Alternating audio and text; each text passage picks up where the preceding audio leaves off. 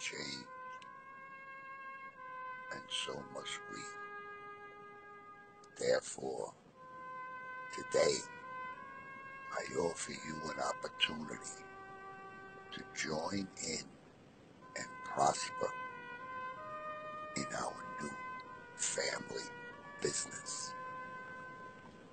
Those of you whom I accept will earn four times your money in one month's time or less.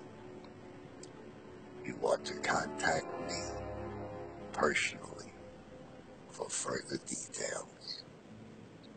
This is